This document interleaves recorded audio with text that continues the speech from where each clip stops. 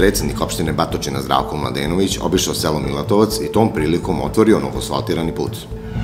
Srbija čvrsto opredeljena za politiku vojne neutralnosti, izjavio predsednik Vučić. Predsednica vlade Republike Srbije Ana Brnabić razgovarala sa zamenikom izvršnog direktora MMF-a. Za vikend uglavnom sunčano. Predsednik opštine Batočina Zdravko Mladenović danas je uz prisustvo saradnika, predstavnika mesne zajednice, predstavnika futbalskog kluba i mnogobrojnih meštana obišao selo Milatovac i tom prilikom otvorio i dao na upotrebu novosfaltirani put do groblja u dužini od 400 metara. Predsednik Mladenović je tom prilikom istakao da je asfaltiranje ovog puta samo jedno u nizu stvari koje su urađene i koje će se tek raditi u narednom periodu u ovom mestu. On je rekao da u prethodnom periodu frezovanom asfaltnom masom urađeno nekih desetak ulica i da je u planu da se urade još najmanje dve. Evo nas danas u Milatovcu zajedno sa e, meštanima sela, predstavnicima mesne zajednice, futbolskog kluba. Evo došli smo da pogledamo kako je završena jedna velika investicija u Milatovcu, a to je izgradnja puta do seoskog groblja u dužini od nekih 400 metara, širine 3 metra put urađen je, investicija koja nas je koštala negde 3 miliona dinara i jedna velika stvar koja će značiti za, e, za selo, ovaj, za sve meštane sela, dakle ovo su putevi koji generalno svi meštani svakog sela koriste, ovaj, i ovo je samo jedna u nizu stvari koja, koja se radi, koja je urađena u Mlatici, koja će se tek raditi u narednom periodu, e, dakle, sem asfaltiranja ovog puta, mi smo u prethodnom periodu frezovanom asfaltnom masom uredili nekih desetak ulica u Milatovcu, u planu je još najmanje dve da se uradi, ukoliko nam to vreme bude dozvolilo vrlo brzo.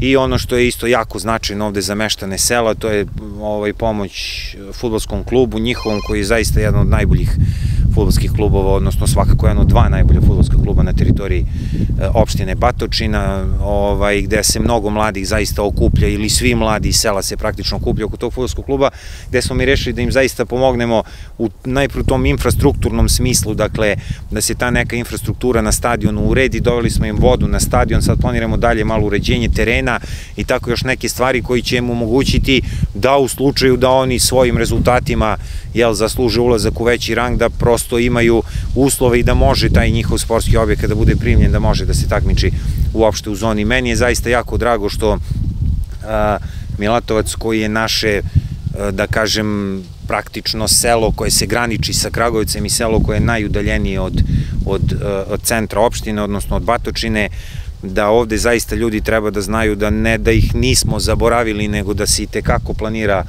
ovaj, ulaganje u selo i prosto to što oni jesu na neki način zbog blizine dosta vezani za Kragovac, da Batočina kao opštinski centar i njihovo matično jel sedište i tekako misli na, na meštane Milatovca i kajem ovo je samo nešto u nizu projekata koji će se u narednom periodu ovde u Milatovcu raditi. A ko je sredstva za asfaltiranje puta? E, ova sredstva su iz budžeta opštine Batočina kao i putevi u e, Crnom kalu, Žirovnici, Dobrovodici, Brzanu dva puta i Prnjavoru koji, se, koji će biti završeni do kraja godine. Meštani Milatovca nisu krili zadovoljstvo i kažu da je u poslednjih nekoliko meseci dosta uređeno po pitanju infrastrukture. Pa kao što je rekao predsednik opštine, e, dosta je uloženo u poslednjih nekoliko meseci. Od infrastrukture oko sportskog terena, gde je urađen arterijski bunar i urađena je, urađeno je navodnjavanje celog sportskog terena. Pored toga, kao što je i navedeno da je urađen ovaj put koji je od velike važnosti za sve meštane sela. E, nemam šta da dodam drugo, ima još par problema koji moramo da rešimo u sklopu futbolskog kluba. Takođe je urađena i brza pruga kroz naše selo i to je to što bih mogao da kažem, vidjet ćemo u budućem periodu šta ćemo da uradimo. To je to. Da li su meštani sela zadovoljni time što je asfaltiran put do groblja? Pa svakako da su zadovoljni jer e, put treba svako meštani novog sela. Svako ima nekog svog bližnje koji počeva ovde. Tako da je od velike važnosti svakako. Ja bih se samo nadovezao na ovo, ovaj, da, ja nisam to pomenuo onom što sam rekao malo pre, dakle ovo što je Darko malo pre napomenuo, dakle još jedna velika stvar koja investicija republičke vlade, to je rekonstrukcija pruge ovaj, Lapovo-Kragujevac, da, ogromna sredstva je vlada Republike Srbije uložila u to, u sklopu toga naravno ovaj, uređen je, uređeno i stajalište ovde u Milatovcu ovaj, i ja sam podno jednu inicijativu da svi vozovi u buduće koji budu saobraćaju na ovoj trasi, jer mislim da negde ima četiri voza u jednom smeru, četiri u drugom. Probitni plan Železnice Srbije je bio da dva voza staju u Milatovcu, dva ne. Ja sam podneo jednu inicijativu u infrastrukturi ovaj, i Srbija vozu da se omogući da svi vozovi koji, koji saobraćaju na relaciji Lapo Kragovac, da svaki od njih staje ovde, jer prosto njima je, s obzirom da su oni nekih par kilometara udaljeni od, od ovog magistralnog puta prvog B reda 24 za Kragovac, dakle njima je železnica ovde praktično najbolja veza, znači nalazim se u samom selu i on im je najbolja veza i za, i za Batočinu i za Kragujevac, tako da ja se nadam da će ovaj, infrastruktura tu moju molbu prihvatiti i da će oni zaista imati četiri voza na jednu stranu, četiri na drugu stranu, što će im u mnogome olakšati život.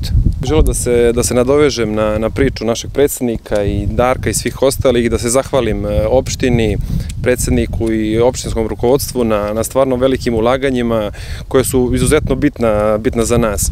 Ja kao e, predsednik futbolskog kluba Sloga iz, Milatovac, iz Milatovca ovaj, veliko, veliko mi je zadovoljstvo što je opština prepoznala naš trud i naš rad i što nam e, stvarno pomaže puno i nadam se da će tako biti i u daljem periodu.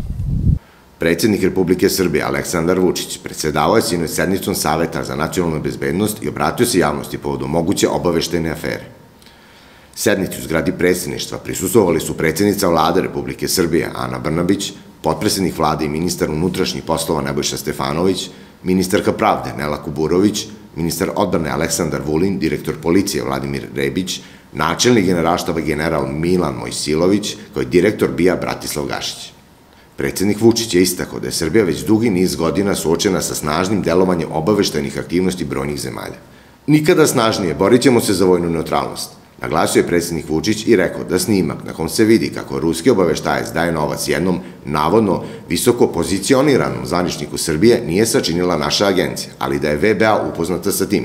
On je dodao da je snimak sačinjen 24. decembra 2018. godine i na njemu se vidi susret ruskog potpukovnika Georgija Klebana sa penzionisanim potpukovnikom Vojske Srbije, čiji su inicijali ZK. Mi smo kao zemlja već dugi niz godina suočeni sa izrazito ofanzivnim delovanjem različitih obaveštenih službi na teritoriji Srbije i to bismo mogli da podelimo u dve grupe.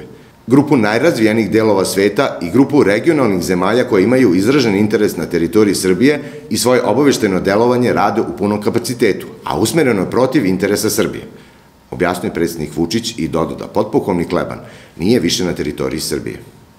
Predsjednik Vučić je naveo da je Srbija jedina zemlja koja nije uvela sankcije Ruskoj federaciji, nikada nije glasala protiv interesa Ruske federacije, da održava vojne vežbe sa ruskom vojskom i sa ničim nije ugrozila svoje prijateljstvo sa Rusijom. Nisam vidio logiku u svemu ovome, izjavio je predsjednik Vučić dodajući da je ruskog ambasadora Bocan Haščenka povodom afere upito samo zašto. Politiku prema Rusiji nećemo da menjamo, doživljavamo je kao bratsku zemlju, Rekao je predsjednik Vučić i poručio da je siguran da predsjednik Ruske federacije Vladimir Putin nije bio obavešten o ovom delovanju. On je ponovio da Srbija ne zaboravlja šta je predsjednik Putin učinio za Srbiju i srpski narod u međunarodnim organizacijama, ali i podršku u opremanju vojske. Predsjednik Vučić je istakao da Srbija neće menjati svoju politiku i da će se nikada snažnije boriti za samostalni i nezavisni put i politiku neutralnosti. Jačaćemo vojsku Srbije i Srbija će biti sve jača. To je zemlja slobodarskog naroda i nikada nismo pristali i nikada nećemo biti neko ko će da dozvoli da drugi njime upravlja. Naglasio je predsjednik Vučić i najavio da će u naredna dva meseca izaći sa sveobuhvatnim opštim pravno-političkim aktom koji bi bio puna potvrda našeg unutrašnjeg i spoljno-političkog puta, potvrda vojne neutralnosti, ali i daljeg jačanja te državne i vojne pozicije. Predsednica vlade Republike Srbije, Ana Brnabić, razgovarala je juče sa zamenikom izvršnog direktora Međunarodnog monetarnog fonda Tao Džangom rezultatima sprovedenih strukturnih reformi i saradnji vlade i ove finansijske institucije. Brnabić je, sumirajući rezultate sprovođenja aranžmana sa MMF-om, ocenila da je saradnja veoma dobra i naglasila da Srbija nastavlja sa sprovođenjem složenih reformi. Ona je kao značajno istakla pomoć MMF-a za očuvanje ostarenog napretka i stvaranje povoljne klime za dodatna investicijona ulaganja u Srbiju. Tao Džang je pohvalio posvećenost vlade Srbije reformskom procesu i naglasio da će MMF nastaviti da pruža punu podršku ključnim reformama. Na sastaku je bilo reči o aktivnostima na stvaranju uslova za što povoljnije poslovno okruženje, uz ocenu da su ostvarena stabilnost i povoljni uslovi domaće ekonomije rezultirali velikim interesovanjem investitora za dugoročno ulaganje u Srbiju. Takođe, pohvaljen je rast bruto domaćeg proizvoda koji će biti 3,5% u 2019. godini, dok je očekivani rast za 2020. godinu 4%. Tao Džang je najviše rangirani rukovodilac MMF-a koji je posetio Republiku Srbiju od 1991. godine.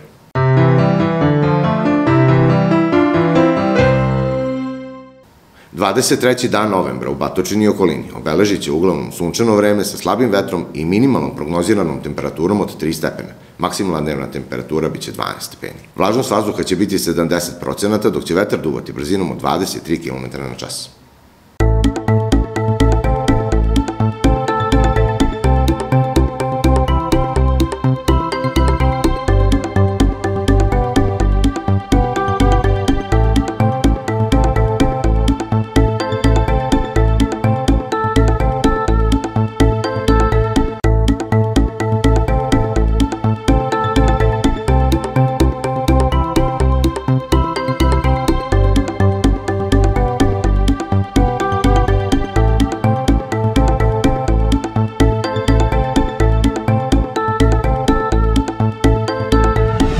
Predsednik opštine Batočina Zdravko Mladenović obišao selo Milatovac i tom prilikom otvorio novosvaltirani put.